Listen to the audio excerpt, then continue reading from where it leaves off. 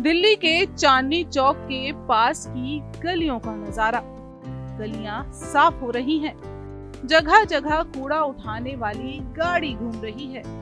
रोज़ाना इसी तरह दिल्ली को साफ़ करने निकलते हैं स्वच्छता के ये शूरवीर। जनवरी की कड़ाके की ठंड में ये स्वच्छता का ये काम ठीक से चल रहा है या नहीं इसे जानने के लिए आम आदमी पार्टी की नेता और दिल्ली एमसीडी मेयर शैली ओब्रॉय और विधायक दुर्गेश पाठक सड़क पर सुबह सुबह ही निकल पड़ते हैं। दिल्ली की ये गलियाँ मामूली नहीं है। किनारी बाज़ार, नई सड़क, सदर बाज़ार बल्ली मारान खारी बावली, ये सभी भीड़ वाले ऐसे इलाके हैं जहाँ देश भर से लोग सामान खरीदने पहुँचते हैं।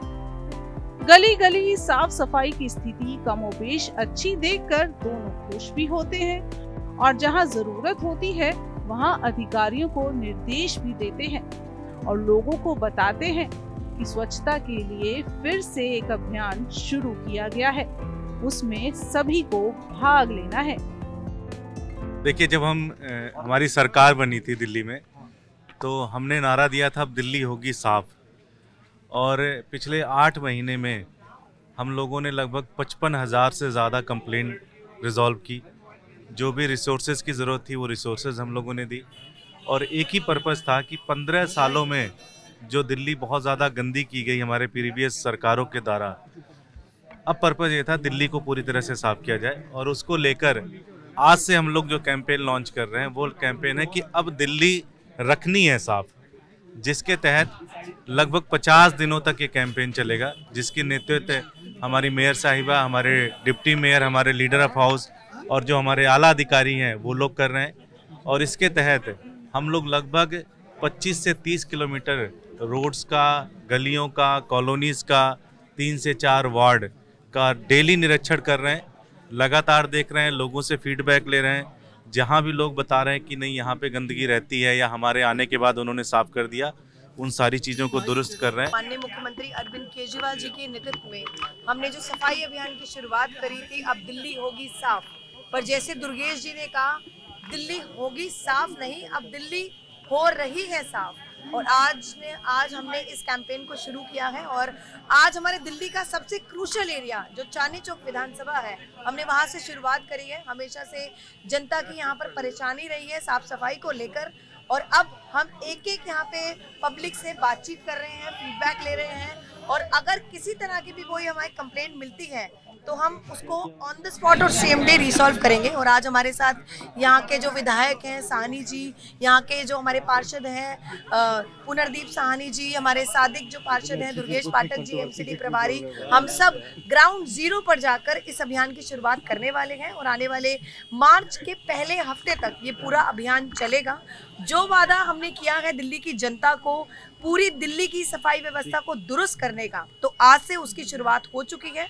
और दिल्ली की जनता से मैं फिर से दरख्वास्त कर कर रही हूँ एक बार दोबारा कि हम लोग ग्राउंड ज़ीरो पर उतर चुके हैं और अब दिल्ली रखनी है साफ़ ये जनता की भी ज़िम्मेदारी होगी हमारी तो है ही अधिकारियों की भी है। अब जनता का साथ एक बार फिर से दोबारा चाहिए ताकि दिल्ली को हम ऐसा साफ़ सुथरा बना सकें जो हम बाहर के देशों से दिल्ली को कंपेयर करते हैं।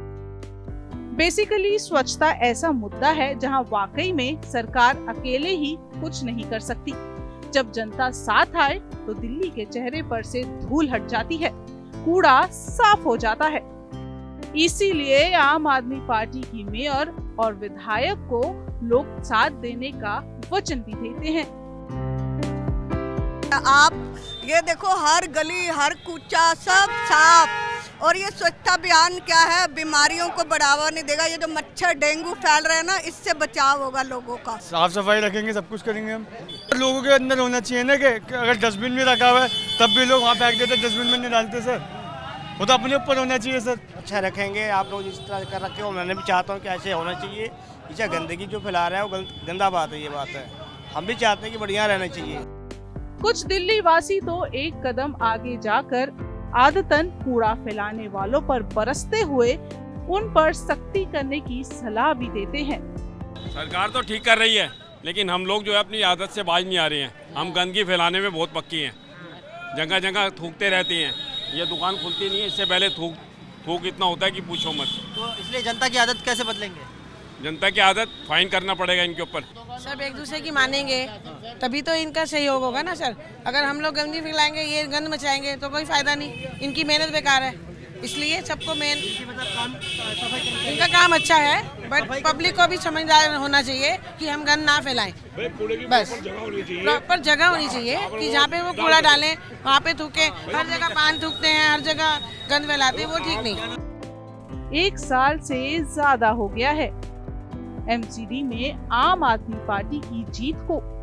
दिल्ली एमसीडी के इलाकों में अच्छी साफ़ सफ़ाई देखकर लोग खुश होते हैं और कहते हैं, स्वच्छता अभियान चलता रहे।